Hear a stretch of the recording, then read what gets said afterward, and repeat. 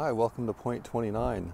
I'm going to show you some tips and tricks and some of the process I used to change out the manifold, driver side exhaust manifold on my 2007 Toyota Tundra 5.7 liter.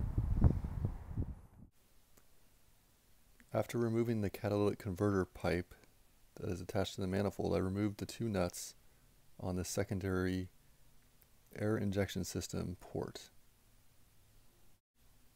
So now with the video, I'm going to get underneath the truck here and show you how that catalytic converter pipe is kind of resting on that drive shaft.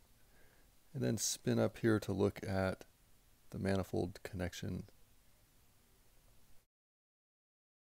When I was taking these nuts off, I had a little trouble getting them to break loose, so I put a little heat on them for about 30 seconds.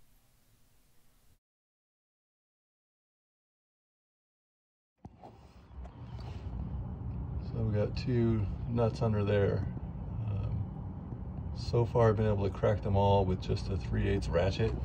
Um, just cracking them all, getting them a little loose, and then I'll go back and pull the nuts off. Um, I think that one closer to me there is the last one. So the hardest part at this point was just getting the catalytic converter detached and out of the way. All right, so a lot of these nuts I've been able to get also through the wheel well here. It doesn't look like there's room, but really there is. See, there's a couple there, one down below.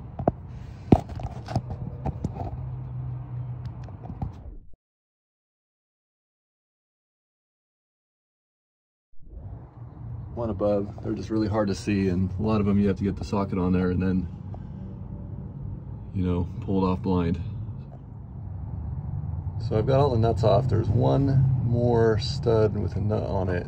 It's very hard to see, but it's just in front of the bend in that manifold pipe. We'll see if I can get a view of it from another spot here, because I think I can see it.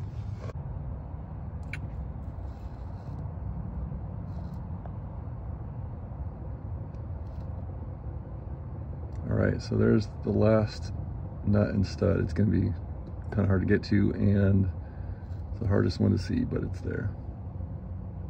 We'll get it. All right, so it didn't take long actually to get that uh, hidden nut out. I just reached with the 3/8 socket with a 3/8 3 inch extension. I'll show you here, this guy. And I was able to reach around with one hand behind it, holding the socket and break the nut pretty easily. And using my right hand to reach around the right side of the spring there and kind of hold it steady. Came right off.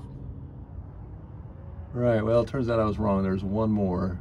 Uh, it's up on the top of the manifold. You can see just the bottom of the stud there. So that one's really hard to see, so it'll be interesting to get that one off, and I'll let you know how I did it.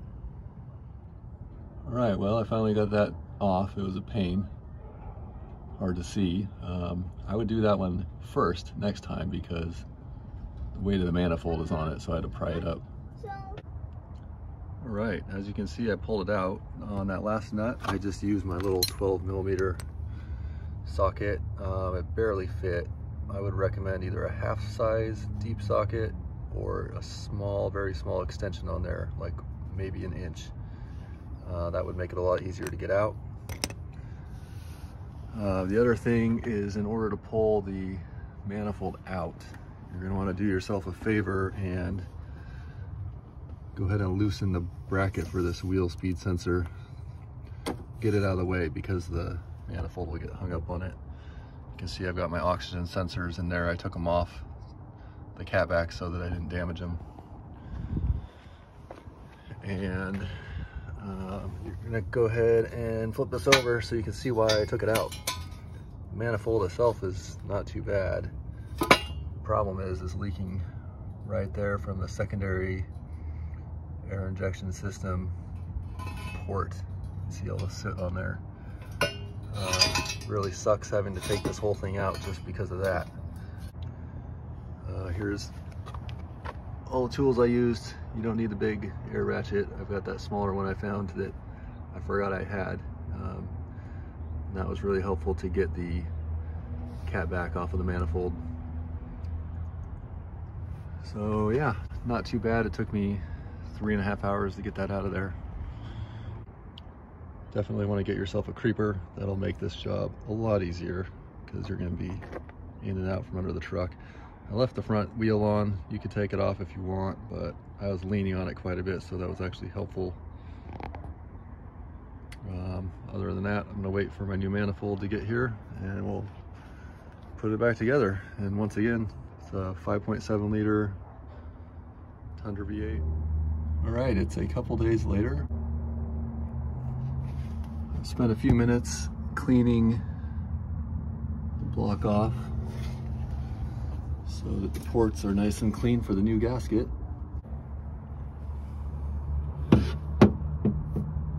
Here's the new gasket.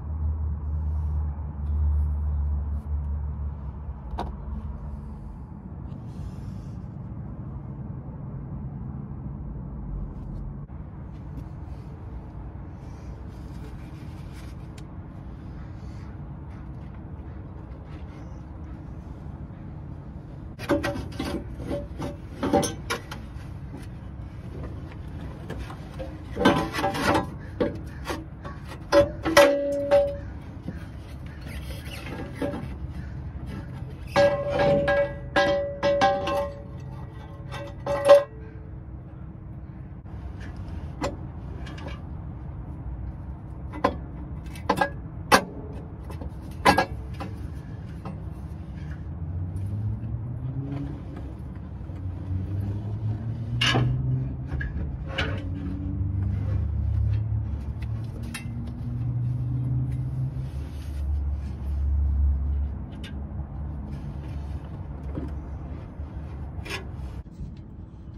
right, it's getting dark outside. It's cold.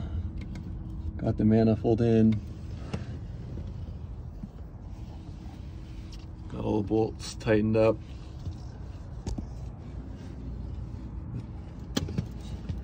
Torque spec is, I think it said 15 foot pounds on the manifold nuts and then seven foot pounds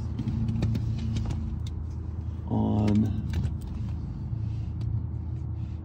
the part for the air injection system.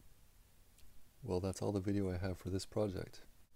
Check out the link in the description for a video comparing this manifold to the original. It also shows why I had trouble putting the exhaust pipe back on this manifold. Thanks for watching.